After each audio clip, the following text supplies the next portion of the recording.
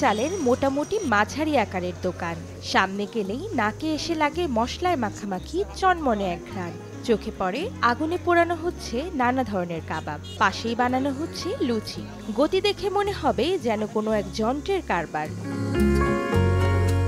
মোহাম্মদ সেলিম খানের হাতে তৈরি এই সেলিম কাবাব ঘরের বয়স প্রায় সাতচল্লিশ বছর। উনিশশো একাত্তর সালে মুক্তিযুদ্ধের সময় বিহারের রাস্তার পাশে বিক্রি করতেন গরুর ভুড়ি আর নেহারি। সেখানেই এক কবিরাজের কাছ থেকে পান কাবাব তৈরির রেসিপি। নির্দেশ ছিল পরিবারের বাইরে কাউকে যেন এই রেসিপি না দেওয়া হয়। স্বাধীনতার পরপর চালু হওয়া এই দোকানটির ভার বর্তমানে বংশ পরম্পরায় সেলিম খানের ছেলে লিয়াকত হোসেনের হাতে। এটা আমার শ্বশুর চালু করছিল, ঠিক আছে? এটা ওনার ছেলে এখন চালায়, আমরা মিলে সবাই মিলে চালায়, ঠিক আছে? আর লোকজন, আমাদের এখানে পাঁচ টাকা থেকে নিয়ে, দশ টাকা থেকে নিয়ে সব ধরনের খাবার আছে, ঠিক আছে? সবাই খাইতে পারে। এর লেগে একটা পঁচিশ টাকা কাবাব রোল আছে। কাবাব একশো বিশ টাকা প্লেট আছে। বিভিন্ন ধরনের, সব মানে সবাই খাইতে পারব। গরিব মানুষ থেকে বড় লোক পর্যন্ত খাইতে পারে seekh kebab body kebab, chicken chaap, beef chaap brain fry beef chaap আছে, অন্য আইটেম সাসলি কিমাপুরি টিক্কা। আমাদের সবচেয়ে ফেভারিট শিকটা। শিকটা আমাদের মেন আইটেম এটা তো আমরা শুরু করছি।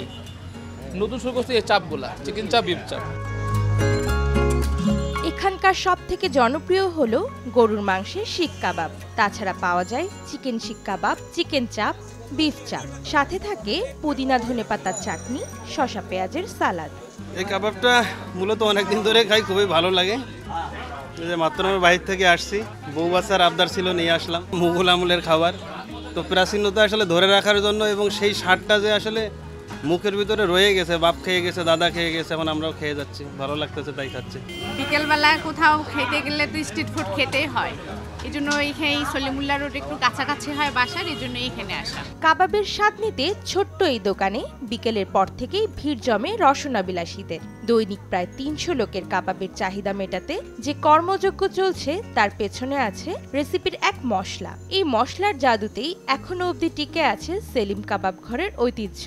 সব শ্রেণির মানুষ এখানে এসে যাতে কাবাব খেতে পারে, তার জন্য দামটাও রাখা হয়েছে সাধ্যের মধ্যে কম দামের মধ্যে ভালো কাবাব পাওয়ার কারণে প্রতিদিন ভিড় লেগেই থাকে দোকানটিতে। অন্তরা সেন, সময় সংবাদ।